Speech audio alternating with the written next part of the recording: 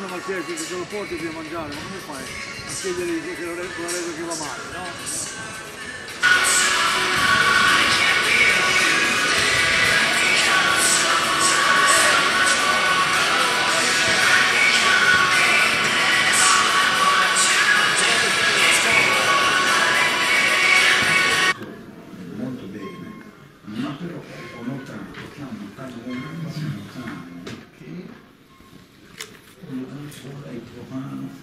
State guardando tutti sull'entrata in area. Cutolo contro Gori, parte Cutolo, la rincorsa è lenta ma è efficace. La rete, Arezzo in vantaggio. Importante è stata la ripartenza di Campagna che eh, si è portato avanti fino a quasi all'inizio dell'area, poi ha aperto per Cutolo che è stato bravissimo a eh, saltare il primo uomo, poi è entrato nel- quasi nella... Ci sarà un nuovo schieramento tattico? Sì, ci saranno delle No, no. modifiche. Al posto di che entrerà Semprini, al posto di Muscat, quindi non dovrebbe cambiare nulla dietro, qualcosa invece davanti. 8 gol a riscatto raggiunto. Fate le vostre considerazioni. Vediamo un secondo. Arezzo in vantaggio al quattordicesimo minuto in scivolata. Semprini? È sembrato Semprini.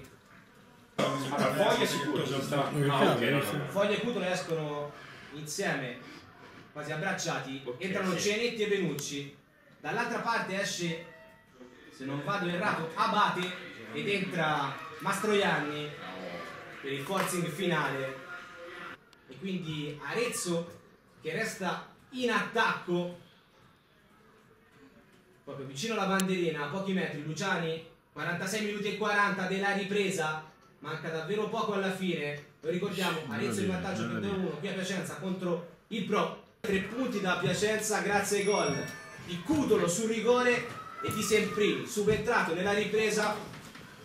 Quante emozioni quest'anno l'Arezzo? La squadra di Pavanen, i ragazzi. Bellissimo, risultato davvero prezioso e ancora una volta vorrei pubblicamente elogiare il mister Pavanel che è riuscito a leggere la partita in corso e a portare le giuste modifiche. Non a caso chi entrato dalla panchina ha fatto molto bene e Semprini si è trovato lì al momento giusto e in una scivolata ha portato in vantaggio l'Arezzo. 2-1, sì. Ma veramente bello, bello, bello. Ora l'abbraccio lì a centrocampo.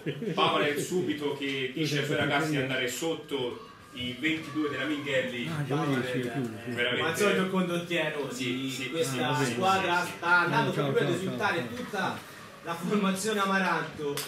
fantastici 22 ragazzi della Minghelli che neanche oggi hanno lasciato da soli i ragazzi sono venuti qui a Piacenza e ora è giusto che la squadra vada sotto Un abbraccio, Esatto. un abbraccio questo, davvero incredibile. bellissimo sì, sì, sì. Incredibile, vittoria fondamentale questa.